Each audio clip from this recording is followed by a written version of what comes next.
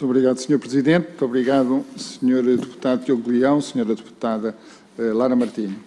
Em relação eh, às questões colocadas pelo Sr. Deputado eh, Diogo Leão, efetivamente foram seis meses extremamente intensos de presidência portuguesa da União Europeia, em que trabalhámos em múltiplas dimensões e eu creio que conseguimos fazer aquilo que nos compete. Ou seja, por um lado, fazer avançar um conjunto de dossiês dinâmicas que já estão a ter lugar e em relação aos quais uh, Portugal está uh, muito empenhado. Por outro lado, dar um sabor particularmente português, trazer uh, aquilo que são os interesses nacionais e os contributos nacionais para um, a primeira linha das, de, do desenvolvimento de uma identidade europeia de defesa.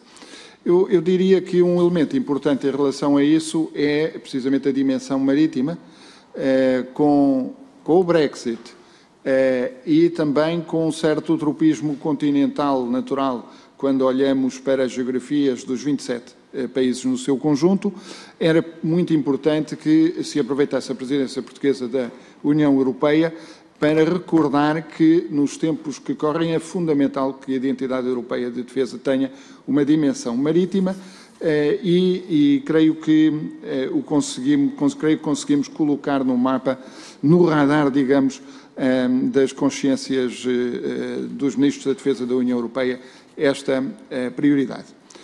Fizemos-lo hum, por três vias, diria. Em primeiro lugar, as presenças marítimas coordenadas são um instrumento inovador que eh, estão a ter já um projeto piloto do Golfo da Guiné, está a ter um grande sucesso e eu creio que eh, virá a ser repetido em, outros, em outros, eh, outras instâncias.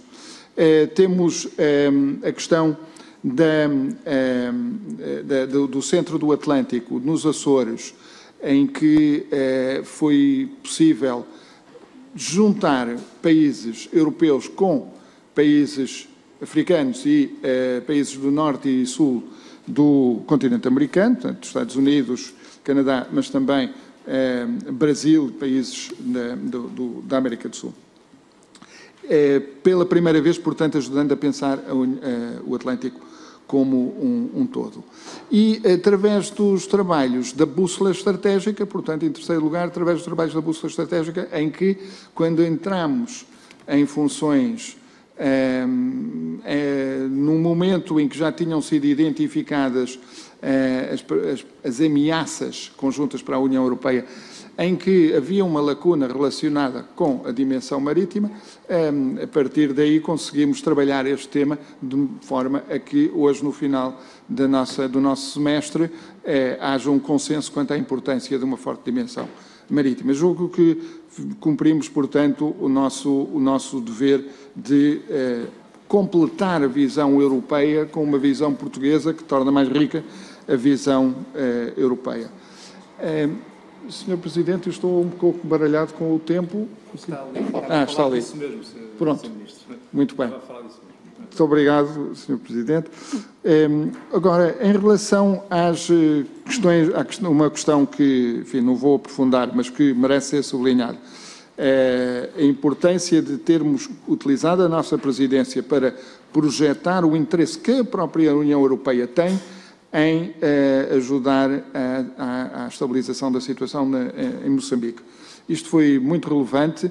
Eh, a União Europeia, como um todo, olha para Portugal como um país líder nesta matéria e eh, creio que estivemos à altura desse, desse, desafio e continuaremos a estar agora nos próximos meses em que teremos eh, a, insta a instalação em Moçambique de uma missão da União Europeia liderada por um oficial-general eh, português. Eh, senhora deputada Lara Martinho eh, fala eh, também da, da, presença portuguesa da União Europeia e da uh, forma como utilizamos este momento também para contribuir para a reaproximação transatlântica que resulta uh, das novas circunstâncias em, em, Washington. Mais uma vez, corresponde a um desígnio que julgamos ser europeu e, e é, naturalmente, um desígnio nacional Não há contradição entre os dois, muito pelo contrário, aquilo que houve foi a criação de uma forte sinergia entre o nosso interesse nacional e a nossa condição de eh, presidência do Conselho da, da União Europeia. Sobre a questão do, dos navios patrulha oceânicos, eh, nós eh, temos efetivamente já eh, essa calendarização feita. A calendarização é aquela que está na Lei de Programação Militar. Pode ser que haja um deslize de alguns meses no primeiro, esse deslize rapidamente, se houver, será recuperado no curso dos, do programa de, de construção de seis navios patrulha e tenho esperança que mesmo em relação ao início não haja nenhum desfazamento face ao calendário previsto na Lei de Programação Militar.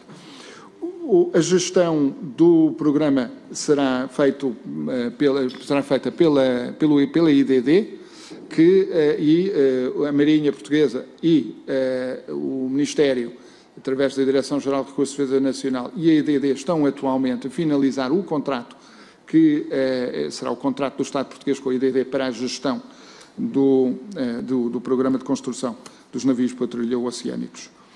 O DECIR, é, o Dispositivo Especial de Combate a Incêndios Rurais, é, o ano passado dissemos que era o maior de sempre, este ano é igual ao do ano passado. É, e com a 1 de junho, no início do, da época, todos os meios à disposição do Estado, tal como do, do do, do, dispositivo, eh, tal como acontece também a 1 de julho com a nova fase e acontecerá com as outras fases eh, subsequentes ao longo, deste, ao longo do verão. Portanto, estamos muito satisfeitos com aquilo que foi possível atingir. Se o Sr. Presidente der licença, gostaria que o Sr. Secretário de Estado pudesse falar sobre a época balnear que também foi referida. Com certeza.